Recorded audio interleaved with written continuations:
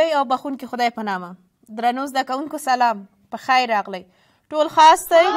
په خیر راغلی یې شکر چې په خیر راغلی یې درس هم چمتواله لري آفرین همداشان درس چمتوالی سره راځي تر څو چې درس مو په سمه توګه زده شي مخکې له دې چې نوی لوست پیل کو آیا ستاسو په یاد موږ په تیر لوست کې څه شی ولوسته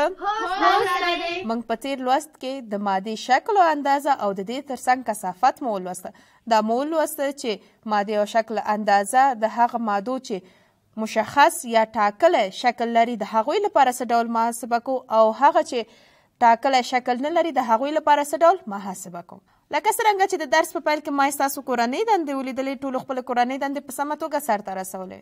آفرین همداشان خپلې کورنۍ دندې په سمه توګه سرته ورسوئ ترڅو چې تیر لوست مو په ذهن کې پات شي زموږ د ملاتړ لپاره د بیګم اکاډمیک چینل له ځان سره سبسکرایب کړئ بیا د شرنګنۍ تڼۍ کېکاږئ تر څو زموږ ټولو درسي ویډیوګانو ته لاسرسی ولرئ او له هغو څخه برخمن شئ موږ په خپل ننني لوست کې د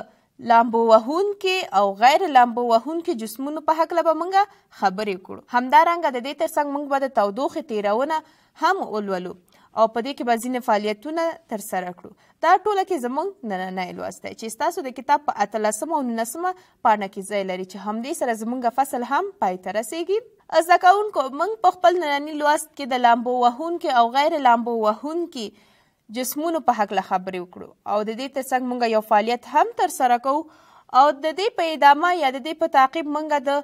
تودوخې تیرونه زده کوو چې وایو تودوخه په کوم ډولونو تیریږي او د دې ترڅنګ مونږ یو فعالیت دی چې هغه هم ترسره کوو لومړی راځم لامبو وهونکي او غیر لامبو وهونکي جسمونه دا تاسو ته تعریفوم چې څه شی دی لامبو وهونکي جسمونه او غیر لامبو وهونکي جسمونه د دوی کثافت له نظره دوی تعینیږي چې کوم یو لامبو وهونکي دي او کوم یو غیر لامبو وهونکي دي د همدې دا کثافت لپاره یو معیار ټاکل شوی چې دا معیار څه شی دی د اوبو کثافت دی یعنی اوبو کثافت په نسبت به ګورو چې آیا د دوی کثافت ډیر دی او که کم دی د همدې له مخې موږ دا تعینو چې آیا جسم لامبو وهونکی دی که غیر لامبو وهونکی دی لومړی راځم لامبو وهونکي جسمونه تاسو ته معرفي کومه چې لامبو وهونکي جسمونه کوم دي لامبو وهونکي جسمونه هغه دي چې اوبو په سر راځي اوبو په سر ګرځي دې ته موږ لامبو وهونکي جسمونه وایو اوس دا څه ډول د فزیک له نظره موږ وایو چې دا لامبو وهونکي دي د فزیک له نظره موږ په دې ډول وایو چې هغه جسمونه چې د دوی کثافت د اوبو د کثافت په نسبت کم وي اوبو کثافت څه شی دی موږ ته په کتاب کې راکړی دی چې په څلور سانتیګرید تودوخه کې د اوبو کثافت یو ګرام پر ملي لیتر دی دا هغه چې دی دا هغه ستندر دی معیار دی چې همدې له مخې موږ تعینو چې جسم د کثافت له نظره آیا لامبو وهونکی دی که غیر لامبو وهونکی دی ښه زده کوونکو موږ ویل لامبو وهونکي جسمونه هغه دي چې د دوی کثافت د اوبو له کثافت څخه کم وي نو موږ وایو چې دا لامبو وهونکي دي لکه لرګی خوصوصا وچ لرګی کله چې دا په اوبو کې واچوي د اوبو په سر راځي اوبو په سر ګرځي نو موږ دې ته وایو چې دا لامبو وهونکي جسمونه دي اوس راځم تاسو ته غیر لامبو وهونکي جسمونه تشریح کوم چې دا کوم ډول جسمونه دي غیر لامبو وهونکي جسمونه لومړی کچېرې زه دا تاسو ته په دې ډول تعریف کوم یعنې کچېرې زه ووایم چې دا اوبو کې واچو دی به د اوبو بیخ ته لاړ شي یعنې د ظرف په همغه ښکتنۍ برخه کې به دې اوسیږي نو د فزیک له نظره دا په دې ډول تعریفوو چې غیر لامبو وهونکي جسمونه هغه جسمونه دي کوم چې د دوی کثافت د اوبو له کثافت څخه زیات وي ما ویل چې اوبو کثافت څه شی دی څلور سانتي ګرید درجه کې یو ګرام پر ملي لیتر دی نو دغه یو معیار دی یا یو ټاکلی حد دی د دې څخه چې کثافت زیات وي نو موږ وایو چې دا غیر لامبو وهونکي جسمونه دي یعنې دوی د لامبو نشي کولی دوی ځي د اوبو په بیخ کې کینی نو غیر لامبو وهونکي جسمونه هغه جسمونه دي چې د دوی کثافت د اوبو له کثافت څخه ډیر وي مثلا تاسو یو تیږه په نظر کې ونیسئ په خپل شاوخوا کې تیږې ډېر ګوري که چېرې یو تیږه جیګه کوي تاسو په اوبو کې واچوي ګوري چې د اوبو بیخته ځي هیڅ کله تیږه اوبو په سر نه راځي نو همیشه د اوبو بیخته ځي دا غیر لامبو وهونکي جسمونه اوس ستاسو د کتاب په اتلسمه پاڼه کې تاسو ته یو فعالیت درکړی دی چې د دې فعالیت له مخې به تاسو د هر جسم کتله پیدا کړئ او د دې ترڅنګ د دوی حجم به لاسته راوړئ او په پایله کې به کثافت محاسبه کړئ کله چې کثافت محاسبه کړ نو وبه ګورئ چې آیا دا لامبو وهونکي دي که غیر لامبو وهونکي دي نو لاړ به شو فعالیت به یو ځای سره ترسره کړو ښه زده کوونکو د فعالیت د ترسره کولو لپاره ضروري توکي کوم یو دي لومړی دا چې درجه لرونکی سلندر اوبه غوړي مایع غوړي او صحتمند او همدارنګه د خاورې تیل او د دې ترڅنګ مس او اوسپنه د دې دلپاره موږ یو تار ته هم ضرورت لرو نو راځم د دغه هر جسم چې څه شی و مایع غوړي و د خاورې تیل و همدارنګه وسپنه وه او مس و د دې هر جسم زه حجم محاسبه کوم او همدارنګه کتله هم محاسبه کوم او په پایله کې زه څه شی لاسته راوړم کثافت لاسته راوړم لومړی راځم د مایع غوړي او د دې ترڅنګ د خاورې تیل د دې حجم محاسبه کوم د دې حجم محاسبې لپاره زه شې کوم زه دا په سلندر کې اچوم په هغه سلندر کې چې یو مقدار اوبه لري موږ په خپل تیر لوست کې فعالیت تر سره کړ موږ وویل چې یو سلندر چې یو مقدار اوبه لري نو په دې کې زه دا مایع غوړي همدارنګه د خاورو تیل اچوم هر یو په جلا توګه او ګورم چې په کوم اندازه دا مایع بې ځایه کیږي استاسو له نظره مایع بې ځای کېږي نه بې ځای کېږي ځکه چې مایع غوړي او د د خاورې تیل هیڅکله په اوبو کې نه ګډېږي هغه د مایع د پاسه راځي نو همدغه اندازه چې د مایع د پاسه راغی نو همدغه وایو چې څه شی دی دا د دې مایع حجم دی نو همدغه لمړی راځم حجم محاسبه کوم کله مې چې حجم ورته لاسته راوړل د دې کتله محاسبه کوم کتله هم بیا د تلې په واسطه یا د ترازو په واسطه د دې کتله محاسبه کوم کله چې دا حجم او کتله مې لاسته راوړله بیا په پایله کې کثافت لاسته راوړم چې کثافت مې هم لاسته راوړل نو دا به په دې ډولي چې کثافت یې د اوبو څخه کم دی ځکه چې هیڅ کله مایع غوړي او همدارنګه د خاورې تیل په اوبو کې نه ګډیږي او هیڅ کله د اوبو منځ ته نه ځي د اوبو بیخ ته هم نه ځي نو دا همیشه د اوبو د پاسه نو موږ وایو چې دا د خاورو تیل او همدارنګه مایع غوړي دا لامبو وهونکي جسمونه دي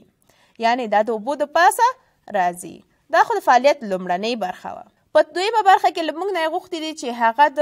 میس او همدارنګه د آهن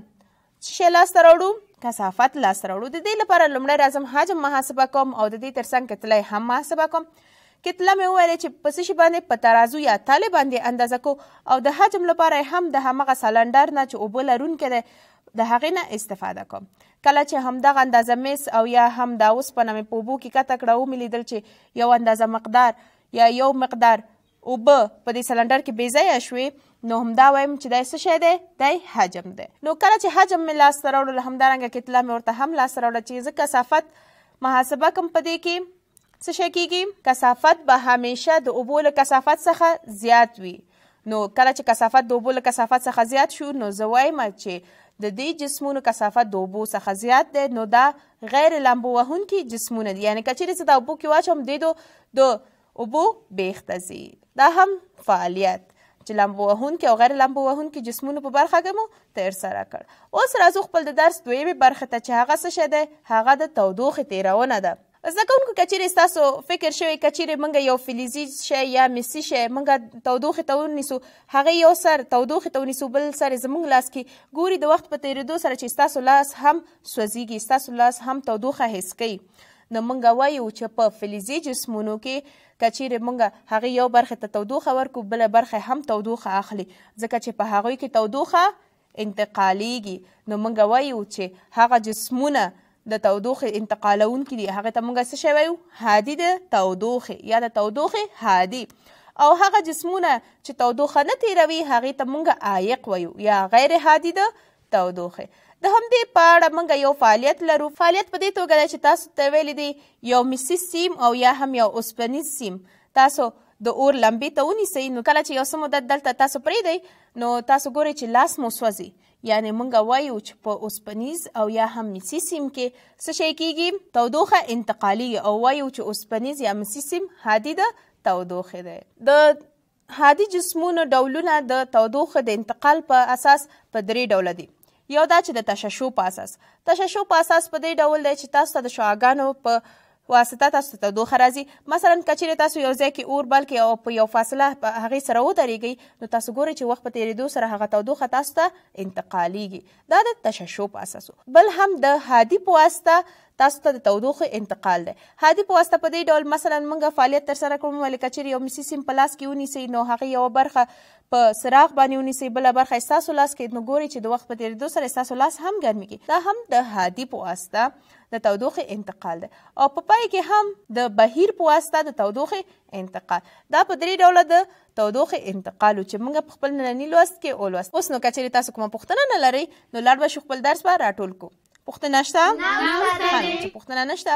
زده کوونکو موږ په خپل نننی لوست کې دا مو ولوسته چې څنګه کولی شو لامبو وهونکي جسمونه او غیر لامبو وهونکي جسمونه وپیژنو او د کوم اساس په واسطه دا جسمونه تقسیم بندي شوي هغې نه وروسته موږ د تودوخې تیرونه ولوستله هم لوسته چې تودوخې تیرونه په څه ډول صورت نیسي او همدارنګه هادي او عایق د تودوخې له نظره څه ته وایي او په پایله کې هم دا مو یې هم زده کړ چې د هادي په واسطه تودوخې تېرونه په څو ډوله ده. نو په ټوله کې دا زموږ نننی لوست و. اوس که چېرې تاسو پوښتنه نه لرئ، لاړ به شو کورنۍ دندې په لور. پوښتنه شته؟ ښه نو ستاسو کورنۍ دنده دا ده چې لومړنۍ پوښتنه لامبو وهونکي جسمونه او غیر لامبو وهونکي جسمونه کوم دي؟ لامبو وهونکي جسمونه او غیر لامبو وهونکي جسمونه کوم دي؟ دویمه پوښتنه د هادي له نظره تودوخې تیرونه په څو ډوله ده؟ د هادي له نظره تودوخې تیرونه په څو ډوله ده دغه دوه پوښتنې په خپلو کتابچو کې ورسوئ او دې ته ځواب ووایئ بله ورځ چې ټولګي ته راتلئ ځانونو سره راوړئ سمه ده آفرین نو زده کوونکو زمونږ نننی لوست همدلته پای ته ورسېدل او د دې سره زمونږ فصل هم پای ته ورسېدل نو تر بیا د کیمیا نوي لوسته پورې ټول په لوی څښتن تعالی سپارم د بل درس له پیل وړاندې لنډه دمه اخلو